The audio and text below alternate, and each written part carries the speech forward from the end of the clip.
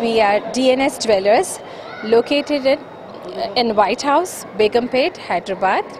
And uh, we specialize in very good quality diamonds, diamond jewelry, solitaire diamonds, and antique gold jewelry.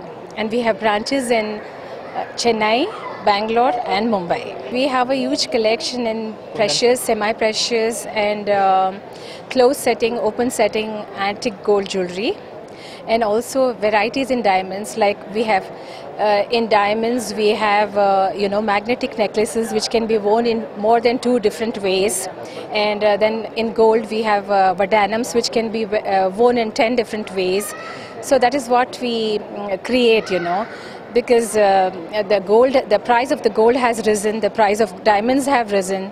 So we are create we are trying to create such collections which which can be utilized in more than one ways and which is cost effective to the customers.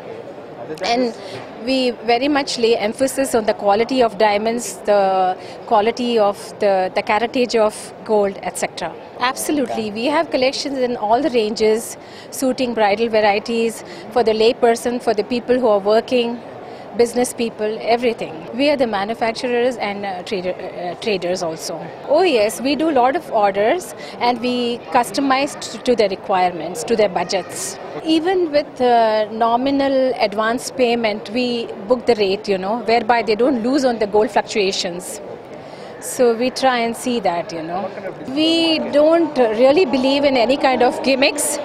We lure them with our quality, with our designs and uh, varieties. So there we are absolutely straight, uh, showing no gimmicks or uh, no such discounts, you know. I think it's uh, purely based on international market. I don't think it has anything to do with the local market.